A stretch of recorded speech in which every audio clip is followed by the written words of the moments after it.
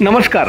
राष्ट्रवादी काँग्रेस पार्टीच्या संवाद दौऱ्याअंतर्गत मंगळवारी दिनांक अठ्ठावीस ऑगस्टला खासदार सुप्रिया सुळे यांनी जळगावला भेट देऊन पत्रकार परिषद घेतली.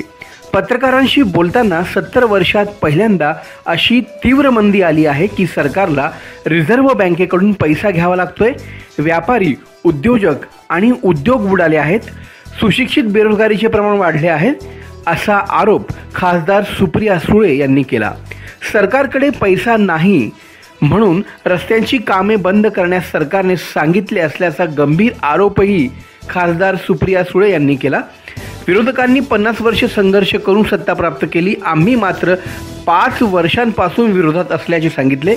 ईव्हीएम बाबत बोलताना खासदार सुप्रिया सुळे म्हणाल्या की लोकसभा निवडणुकीत पराभव मान्य मात्र पराभवाच्या फरकामुळे शंका निर्माण झाली.